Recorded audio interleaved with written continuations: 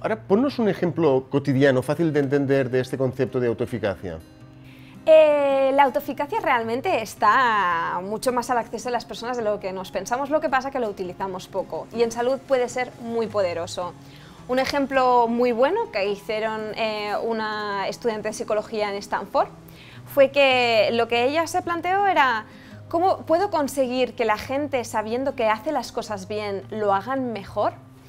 Porque todo el mundo representa que nos gusta hacer las cosas bien, nos gusta hacer las cosas lo mejor que podemos. ¿no?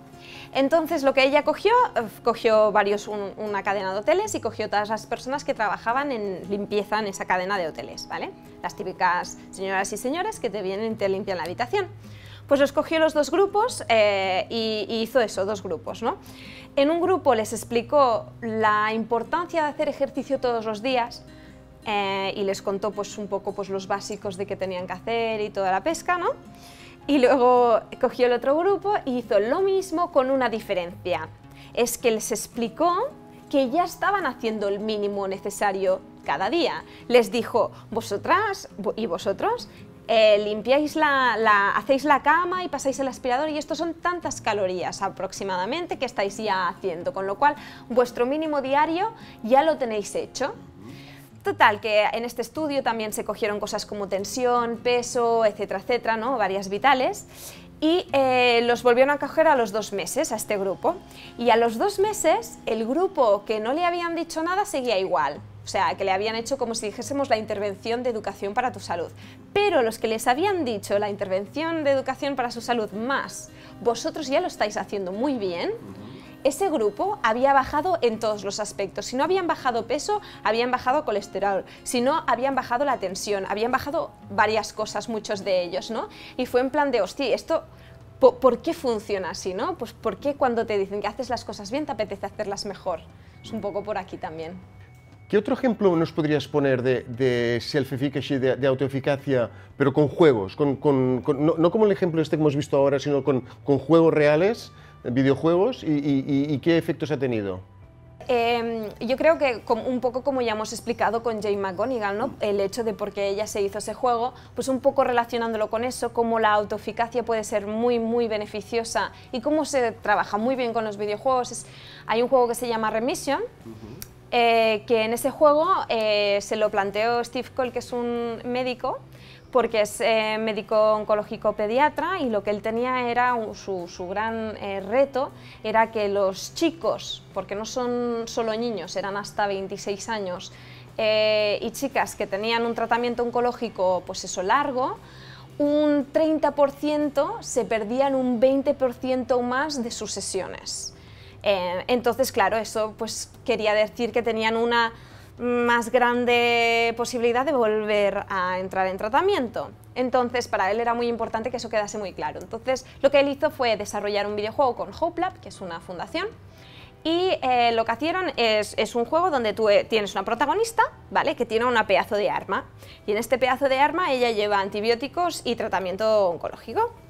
Y entonces eh, tú entras en el cuerpo, tienes una misión, entras en el cuerpo de un niño o de una niña y vas a ayudarles a eh, matar a su cáncer, ¿no? Entonces entras en el cuerpo, hay las células que son las células cancerígenas y tú las disparas, pa, pa, pa. ¿Qué hicieron? Pues que si fallabas un día eh, de tratamiento, cada vez que disparabas, a la tercera vez que disparabas en el juego, el tiro se iba por ahí, no iba donde tú querías. Si fallabas dos veces, la explosión era más pequeña y habían algunas eh, células que te sobrevivían a la primera explosión. Si faltabas tres veces, había algunas células que ya no se morían, aunque las disparases, ¿vale? Células malas. ¿Qué más pasaba en este juego, aparte de esto? Pasaba que a veces se te cruzaban células buenas y tú ya habías pegado el tiro y también las matabas. Esto era una manera muy fácil de explicar a niños y a, jóvenes adultos porque se te cae el pelo, porque tienes ganas de vomitar, no sé qué, de una manera súper visual para ellos. Entonces, em, lo que también, lo que también estudiaron en este, o sea, que fue la adherencia al tratamiento realmente, que es lo que ellos querían hacer, ¿no? Y la adherencia al tratamiento, los, eh, los chicos y chicas que jugaron versus los que no jugaron, aumentó durante los próximos tres meses que duró el, el, proyecto. Esto jugando solo dos horas. Eh, curioso, habían calculado que haría falta 38 horas de juego para mejorar la adherencia al tratamiento y con dos horas de juego ya se comprobó que eso ya funcionaba y además para tres meses, que es lo que duró el, el de este, cuando solo habían jugado dos horas al principio. La otra cosa que fue súper interesante es que eh, no solo miraron eh, esto, sino que también les, habían, les harían eh, cuestionarios sobre el estrés que tenían, los efectos secundarios, cómo los llevaban, el dolor, no sé qué. Les hicieron toda una serie de cuestionarios y había una cosa que se diferenciaba muchísimo del grupo que no había jugado del grupo que había jugado, que justamente era que se sentían que tenían en su poder poder eh, cambiar el resultado de su enfermedad. O sea, estaba en sus manos realmente ¿no?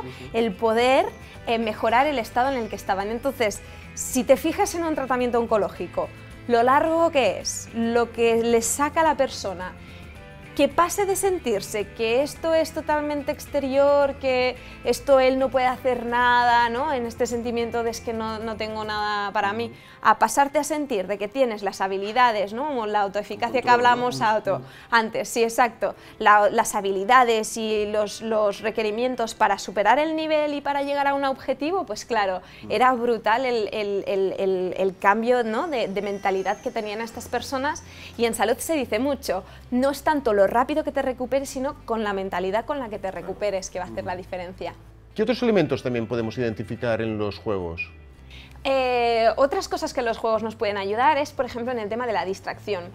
Como se ha estudiado ya, uno de, los, uno de los más característicos que me gustan a mí, porque también es muy antiguo, es del año 2004, eh, es un estudio que lo que hizo es coger a un niños que tenían que hacer la típica cirugía que entras por la mañana y sales por la tarde, pues para mejorar lo que sería su nivel de estrés, ¿vale? Cogieron, hicieron tres grupos, un grupo, pues los padres estaban ahí con el niño antes de la anestesia y hasta que le hiciesen la anestesia, el otro grupo, eh, pues tenía, les daban un tranquilizante y un tercer grupo que les daban una Nintendo, Todos los grupos iban con los padres. Pues el grupo que iba con los padres versus el grupo que iba con, el tranquilizante casi no hubo diferencia, estaba más o menos ahí, estaban un poquito más tranquilos, pero tampoco no tanto. Pero con el grupo que tenía la Nintendo, es que el grupo que tenía la Nintendo es que tenía menos estrés ahí jugando con la Nintendo que el que tenían antes de, cuando estaban en casa antes de salir para el hospital. O sea, fue realmente brutal la capacidad de absorción, de absorción, ¿no? Y habían algunos padres que incluso decían, guau, es que es increíble la capacidad de distracción, de absorción que tiene esto para que mi niña no se entere de nada cuando su hija nunca había jugado a ningún juego de nada. ¿eh? Por ejemplo, este, este señor me hizo gracia porque Lo, leí en un, en un, artículo fuera ya del estudio científico en, en, sí. O sea que sí, el poder de la distracción es algo muy, muy importante también en salud. Muchas gracias, Ana.